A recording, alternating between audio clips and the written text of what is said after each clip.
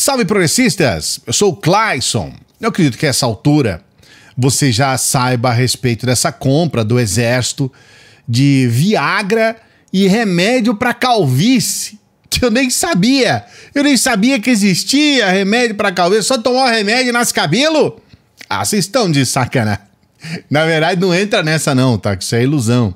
Não tem, não tem. Né? Imagina se tivesse. Mas eu tô muito feliz com a minha carequinha. Eu acho que é, é dos carecas que elas gostam mais. Tá tudo certo. Tá tudo certo. Agora, brincadeiras à parte, é importante a gente colocar uma questão aqui fundamental. Mais uma vez, a gente tem essa balbúrdia dentro do exército que a cada momento que passa é levada à tona. Nesse caso aqui específico, é, foram comprados 35 mil Viagras é, e foram divididos da seguinte forma: é, 28.320 comprimidos para a Marinha, 5 mil é, para o Exército, 2 mil para a Aeronáutica.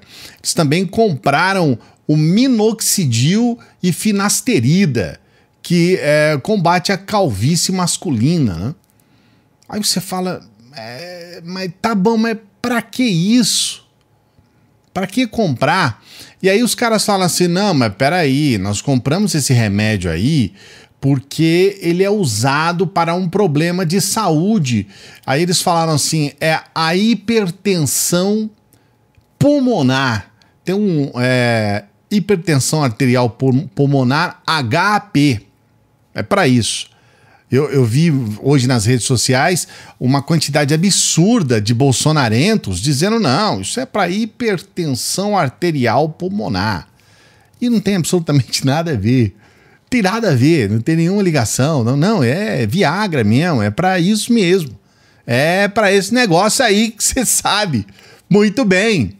Eles tentam passar pano para tudo mas não dá para passar pano para tudo. Tem coisas que são, para dizer muito pouco, né, são imorais. Não é possível que eles não tenham dinheiro no salário para comprar o seu próprio Viagra e o seu próprio remédio para carequice.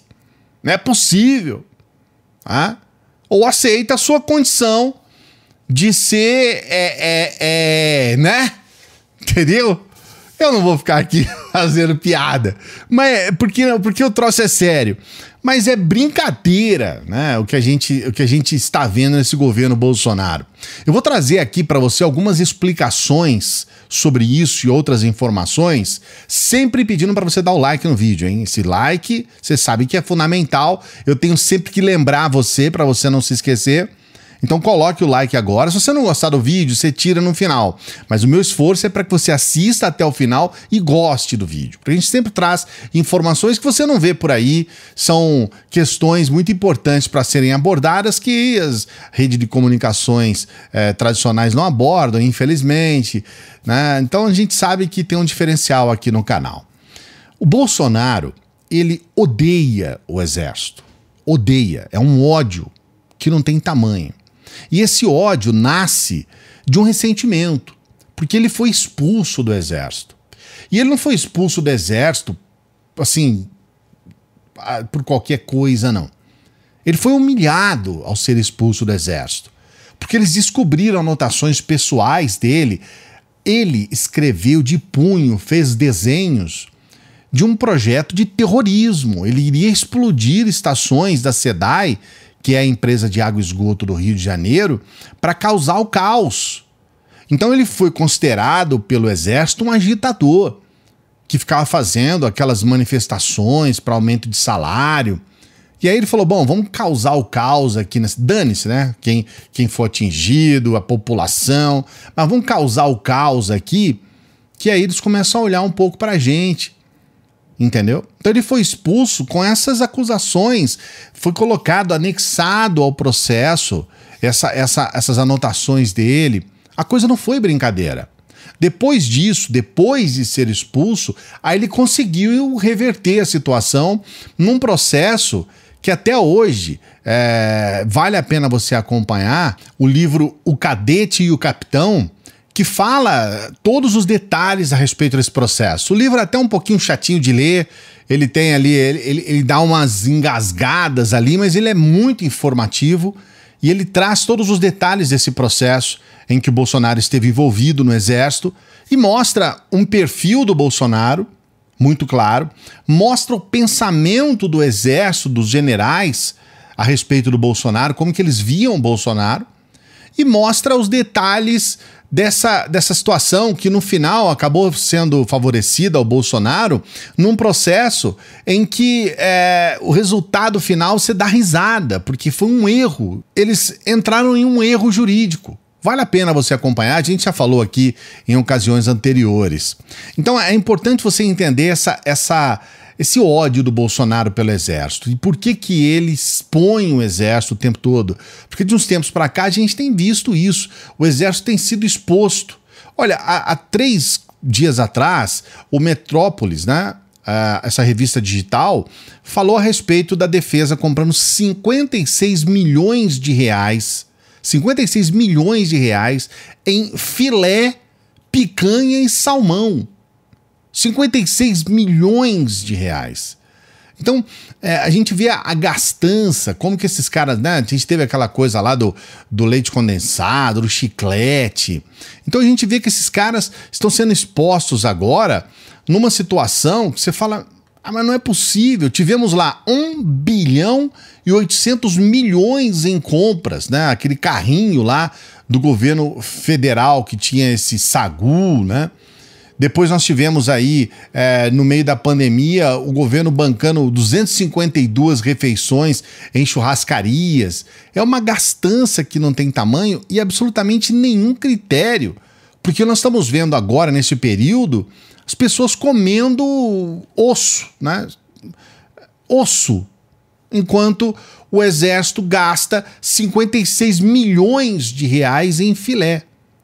Então é, é, importante a gente colocar essas questões para a gente entender um aspecto da questão, né?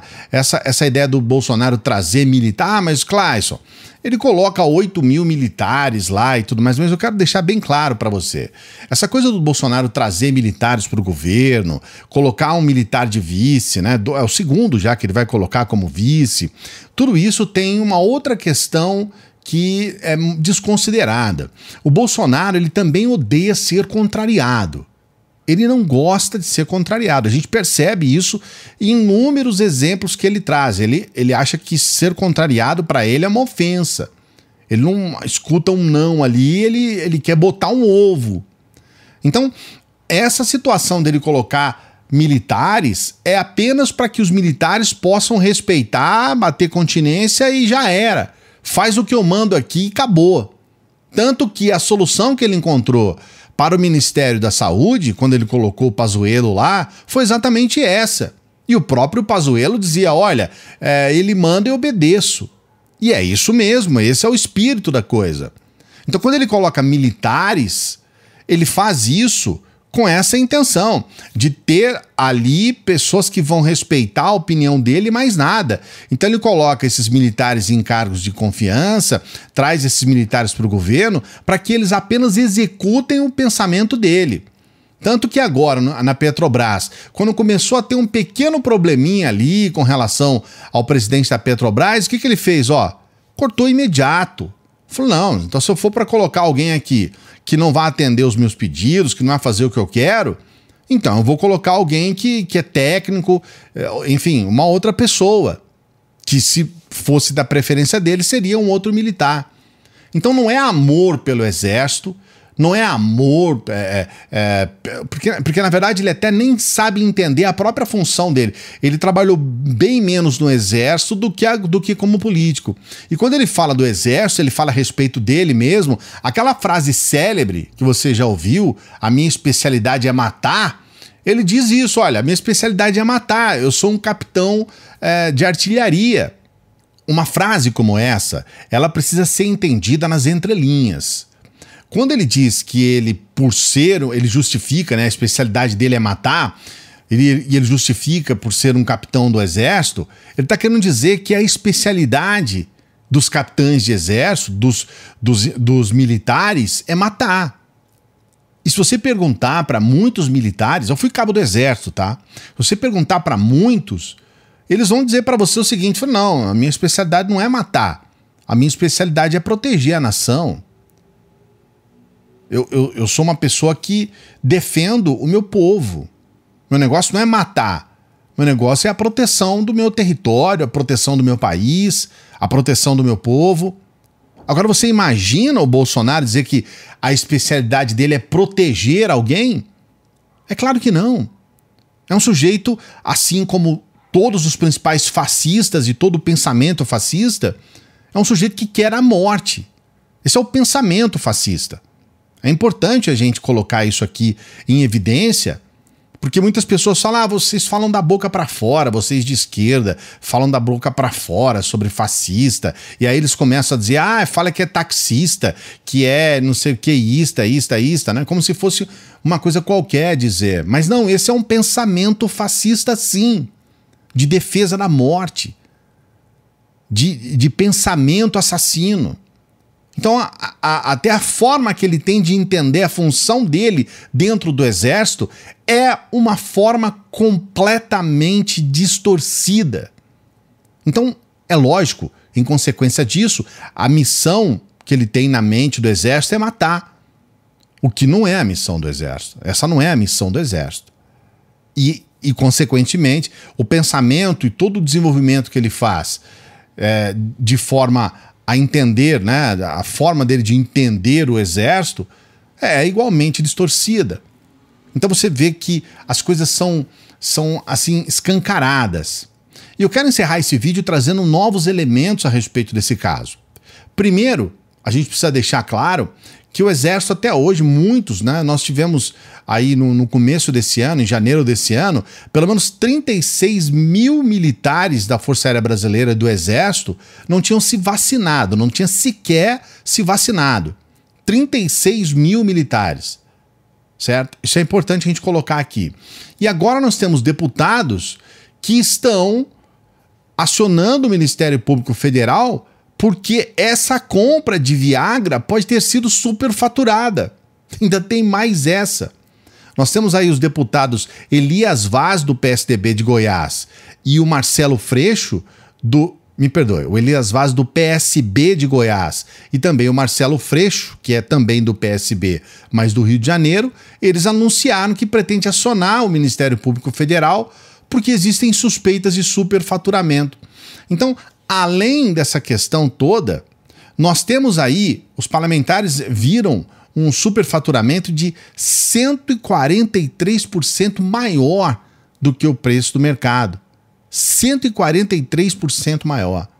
Então você percebe como a gente está envolto numa trama de corrupção, né, né nessa situação toda, sabe? É, essas aquisições é, do exército, todas cheias de problema. É, tudo isso é realmente algo que a gente percebe que não tem fim. E aí a gente vê é, o exército envolvido nessa questão das vacinas. E aí gosta da Pfizer só pelo Viagra, não gosta da Pfizer em relação à vacina. E aí in, in, enrolam a Pfizer para compra de vacina, porque não vacinam, não gostam de vacina. E a gente percebe o Bolsonaro arrebentando com mais um pilar da democracia. E, e, não, e não é só isso, né? Ele faz um trabalho para arrebentar com os evangélicos. Os evangélicos estão humilhados com essa situação que nós vimos lá no, no MEC. Humilhados. Ele a, acaba com o exército, o, o, o, exército como um todo sendo humilhado por, por essas questões que são contínuas, é, casos de corrupção, essas compras indevidas. E não é à toa, já não estamos falando do exército, mas pelo menos da polícia militar, não é à toa que boa parte dos policiais militares acabam se envolvendo com o bolsonarismo, e o resultado disso é esse policial militar aí do que é vereador lá no Rio de Janeiro, né, o Gabriel Monteiro, que todo mundo tá passando pano para ele aí, né? Você vê que a fascistada, ó, tá quietinha em relação a Gabriel Monteiro. E agora a gente já tem denúncias de que havia envolvimento com crianças de 10 anos de idade. 10 anos de idade. É pedo. Sim, sim. Essa palavra não pode ser dita aqui no YouTube, mas é. E precisa ser falado aqui com clareza. Não é à toa que a gente vê esse Daniel Silveira policial também. Pessoas que desonram, Então eu quero saber o que você pensa a respeito disso, mediante todas essas informações que nós passamos aqui. Coloque aqui o seu comentário, por favor. É muito importante para gente. Não se esqueça de dar o like no vídeo. E você que chega até o final, é, se você não se inscreveu no canal, esse é o momento, tá? Se inscreva no canal, ative o sininho, ajude o nosso canal a crescer, apresente os nossos canais, uh, os nossos vídeos para outras pessoas entrarem aqui no nosso canal. Você pode nos ajudar por intermédio do Apoia-se. O Apoia-se está lá para você ajudar também. E qualquer valor, se você puder, lógico, se você quiser, qualquer valor por intermédio do Pix, qualquer valor, tá? Você pode fazer isso agora aí, pega o seu celular, faz uma, uma doação aqui para a gente, qualquer valor vai ajudar muito o nosso trabalho. Grande abraço, até a próxima.